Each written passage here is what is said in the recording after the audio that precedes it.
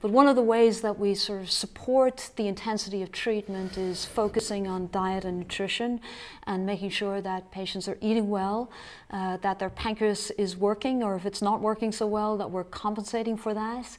So, for example, pancreatic enzymes are a very important uh, digestive aid that can help digest, absorb, and uh, as we discussed previously, help gain the maximum nutritional value from what people are eating. Loss of appetite is a common uh, side effect and symptom of both disease and treatment. Nausea and vomiting, so good use of anti-nausea medications can be helpful.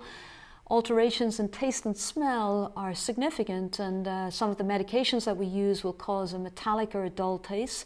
So we'll counsel uh, patients to flavor their food more strongly, uh, that they can taste the extremes like sweet or sour or bitter uh, better.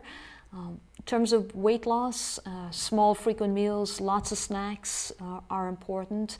That strategy tends to, to work better rather than bigger meals, which can be uncomfortable and induce bloating uh, for a lot of people.